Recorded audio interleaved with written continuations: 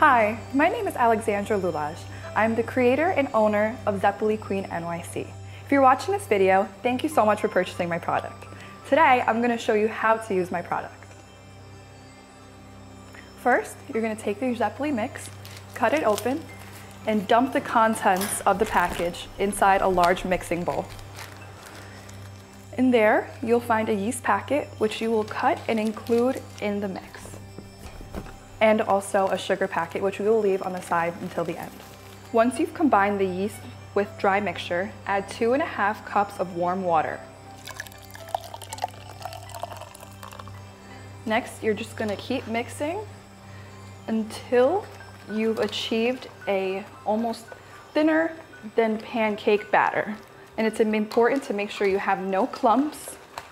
I recommend using a wooden spoon and a metal bowl just because I feel like it makes it a lot easier to work with. Next, you're gonna take your saran wrap and cover it.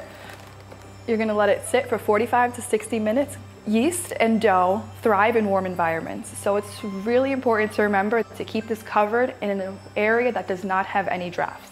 When your dough has doubled in size, and you see that the gluten has given its way to rise, and you see all these air pockets, it is ready for frying. Today I'll be using my deep fryer, but if you're using a stovetop, I recommend heating the oil to 350 degrees. If the oil is too cold for the zeppoles, it can result in them absorbing too much oil.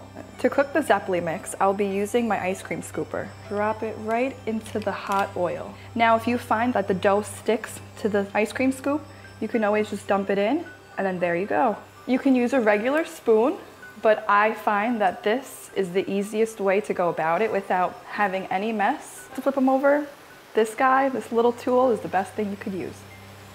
Now this batter can make 25 or even more of these large zeppoles depending on the scoop that you're using.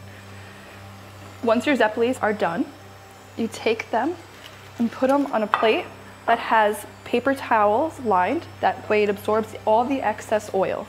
Next, you're gonna cut open your powdered sugar packet. If you have a strainer, it's very important for getting desired look. I hope you enjoy making this as much as I enjoy creating it. Cheers.